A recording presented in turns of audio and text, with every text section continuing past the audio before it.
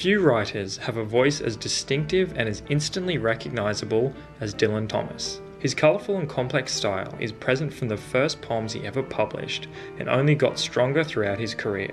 The reason for this is that few writers are as inextricably linked to their environment as Dylan Thomas was. His voice wasn't just his own, it was the voice of Wales. Dylan Thomas was one of the first poets I ever read that really made me realise the true possibilities of language. His writing was full of complex imagery and phrases that I'd never heard before, and it was written in a style that I'd never seen in any other poet I'd ever read.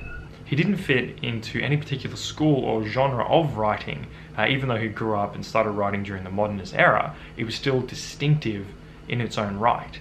And it was twisted into these odd rhythms and turns of phrase that I didn't realize for a long time were actually the products of the Welsh language. So, to understand his writing, we first need to understand where he came from. Dylan Thomas was born in Swansea in 1914 to modest circumstances, the son of a seamstress and a schoolteacher. His parents made an effort to teach their children the Welsh language, something which had a huge influence on his later work. Thomas's childhood summers were divided between the Welsh coast and the farms of his many relatives in the rolling countryside. The images he saw in these early years are repeated again and again in his later poetry and obviously held an idyllic place in his mind. Most famously, they're revisited in his great poem, Fern Hill. Nothing I cared in the lamb white days that time would take me up to the swallow thronged loft by the shadow of my hand, in the moon that is always rising, nor that riding to sleep I should hear him fly with the high fields and wake to the farm forever fled from the childless land. Oh, as I was young and easy in the mercy of his means, time held me green and dying, though I sang in my chains like the sea. He was a reluctant and unsuccessful pupil, but began writing poetry during his school years. He also discovered journalism at this time and left school at age 16 to work for the South Wales Evening Post. He worked for a number of publications over the next five years and wrote poetry in his private time excessively. It's estimated that half of his total poetic output was written by the time he was 20. These poems commonly focused on ideas of life and death cycles, of destruction and creation. The force that through the green fuse drives the flower, drives my green age. To blast the roots of trees is my destroyer. And I am dumb to tell the crooked rose, my youth is bent by the same wintry fever. Thomas's first collection, 18 poems, was published in 1934, and his style quickly got the attention of the industry. It was reviewed favourably in papers and even won an award. Most importantly, it introduced him to the literary world of London. Thomas was beginning to discover the theatre and the performing arts at the same time the industry was beginning to discover him. To be closer to the literary world, Thomas relocated to London. It was there that he met his future wife, Caitlin Macnamara. She had run away to London to become an actress, and the two hit it off instantly. Although she was already in a relationship, they began an affair and were married within a year. These days, Dylan Thomas is known for two things his poetry and his drinking. As his profile as a writer in London grew, so did his reputation for hard drinking and hard partying. Caitlin had a taste for the same vices, and the two of them fueled each other on as they travelled constantly between homes in London and Wales. Importantly, during this time, they began a connection with a fishing village called Laugharne in Wales, where they would live periodically for the rest of Dylan Thomas's life. His second collection of poetry, 25 poems, was published in 1936 and was almost exclusively composed of poems that he'd written during his teens.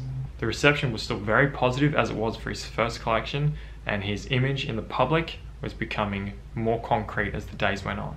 His third collection, The Map of Love, was released in 1939, about the same time that the Second World War was breaking out across Europe. This volume was actually a commercial failure, unlike his earlier work. Uh, the next year, in 1940, he released a short story collection called A Portrait of the Artist as a Young Dog, and again, it was mostly a failure. The Thomases were very poor at this time and borrowed heavily from family and friends. Dylan avoided conscription to the war due to his poor health, having suffered respiratory illnesses for most of his life. As a result, he began writing scripts for the BBC back in London, which brought him closer to traditional media and also the exciting nightlife he'd grown to love.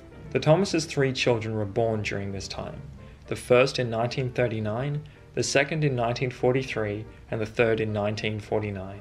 They moved back and forth between their home in London and Wales and managed to stay safe throughout the war. Thomas began a series of affairs in these years, at the same time his public image began to change. His work for the BBC included many recordings, including those of his own work, and these became increasingly popular due to his rich voice and the almost mythic quality of the poems. He appeared on more and more art and culture broadcasts on the BBC, and when his next collection, Deaths and Entrances, was released in 1946, it was a massive critical success. The poems included idyllic recollections of his childhood, like Fern Hill, as well as direct responses to the horrors of war. Deep with the first dead lies London's daughter, robed in the long friends, the grains beyond age, the dark veins of her mother, secret by the unmourning water of the riding Thames. After the first death, there is no other. Thomas's relationship with the BBC began to be strained about this time because of his excessive drinking, uh, but he was still very popular with the public, so he maintained a presence on air, especially in radio plays and theatrical broadcasts. Probably very suitably, he was cast to play Satan in an adaptation of Paradise Lost. The Thomases moved in 1949 to a boathouse in Laugharne, purchased by one of Dylan's benefactors.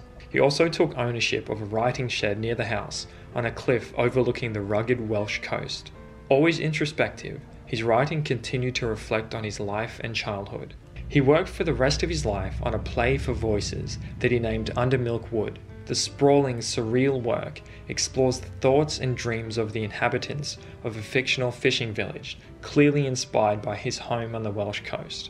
It was never fully completed during his lifetime, although he did perform parts of it during the famous reading tours he was soon to complete. Between 1950 and 1953, Thomas undertook four tours of the United States. The aim was to read at colleges he'd been invited to, but the tours themselves became notorious for the wild parties they involved. Thomas attended functions and gatherings and drank to excess, even attending some of his readings drunk and incoherent.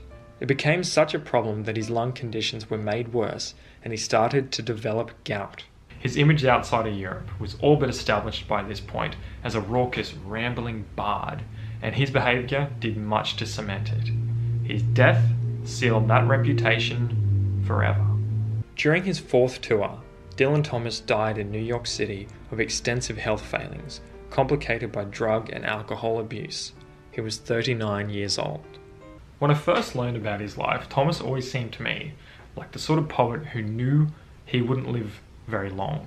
He was loud and boisterous as a person and seemed very self conscious of his image and what legacy he would leave behind. I suppose the place that's most obvious is in his writing, which from the start focused on life and death cycles.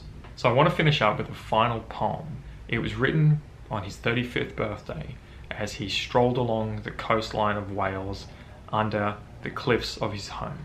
I hear the bouncing hills grow larked and greener at berry brown fall, and the dewlarks sing taller this thunderclap spring, and how, more spanned with angels ride the man-souled fiery islands. O holier than their eyes, and my shining men no more alone, as I sail out to die. Alright, so thank you for watching. If you haven't read Dylan Thomas's poetry before, absolutely check it out. It is amazing. Like I've said, it's like nothing you've ever read before. I cannot explain how much it is difficult to read half those ones out loud. Uh, the words that he jams together become like tongue twisters when you try and pronounce them coherently. Um, while you're here, subscribe to the channel because these videos are fun to make and it's even better when people watch them. I'll be back soon, so until then, have a good week, month, year, and I'll see you later.